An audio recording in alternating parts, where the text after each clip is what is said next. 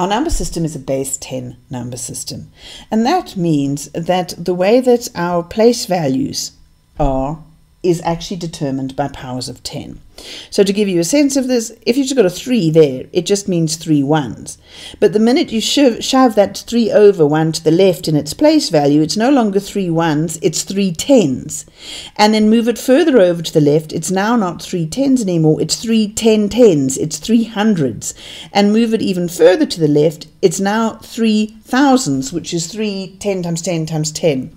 So basically what you're seeing is that every time you move the place value 1 over to the left, what you're doing is actually getting 10 times as big with your number. And if you move the place value 1 to the right, you're going to get 10 times as small with your number. And this gives us a very easy way to do our multiplication by 10 or whatever. Say we have to do what is 50 multiplied by 10. Well, we know that multiplying by 10 is just moving you 1 over in your place value. And so what we're going to get is 500.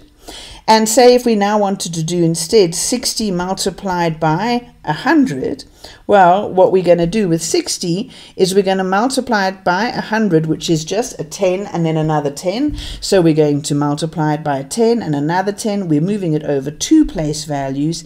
In other words, it's now going to be like that. And if we wanted to do division, so say we wanted to work out what's 800 divided by 10, well, if you're dividing, you're just going in the other direction, right? You're moving the place value over 1 to the right, and so you will end up here with the answer of 80. So multiplying by 10 just changes, or dividing by 10 just changes your place value.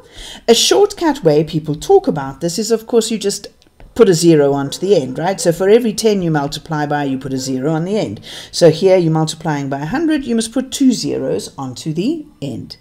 Just a quick word of caution, which is why I've put this little stuff in here, is that shortcut is very nice for when you're dealing with whole numbers, but of course it doesn't work when you're talking about decimals. So if you're at 7 and you divide by 10, you just changing the decimal place one to the right, and so you get 0.7.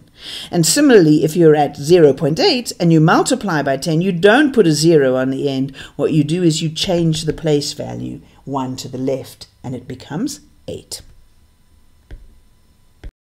Being able to do multiplication and division by 10 is very quickly and easily is useful because actually I use it a lot when I'm going to approximate answers before I actually go ahead and do long calculations. So if I look at something like this, 1425 divided by 21, I always like to know before I start doing long complicated calculations approximately where my answer is likely to be so I can know in the end whether when I get it out whether I've got it into the right kind of an answer. So this thing, I can say, look, it's that's 1,400 approximately, and this one's quite close to 20. So I have to divide 1,400 by 20, which means I've got to divide it by a 2 and also by a 10.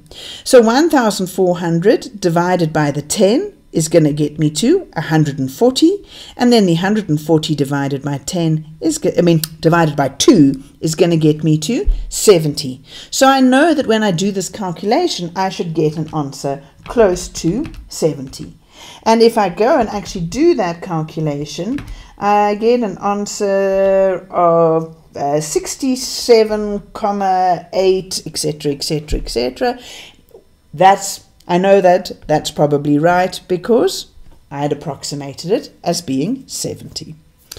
Okay, and then if the same work would do a multiplication, 53, that's quite close to 50, 62, that's quite close to 60. And of course, 50 is just a 5 with a 10, and 60 is a 6 with a 10. So we've got 5 multiplied by 6 is 30, but we've got a 10 and another 10, so our answer will come out to be somewhere around 3000. And if I actually go and do the calculation, I get, just get it, I get 3286, right? And then I know that's probably right because it's close to what I approximated.